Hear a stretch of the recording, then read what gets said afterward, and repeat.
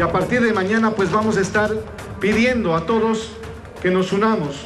Basta de hacer pruebitas, basta de estar saliendo a candidatear para pedir curules. Eso no tiene que darse en el Departamento de La Paz y en la Ciudad de La Paz.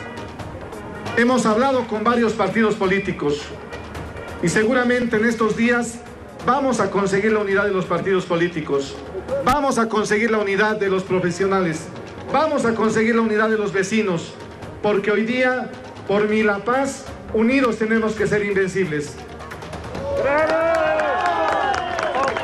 Quiero decirles a los vecinos que confían en nosotros que a partir de hoy día vamos a trabajar primero por la salud del departamento y por la salud de, de esta ciudad ínclita de La Paz.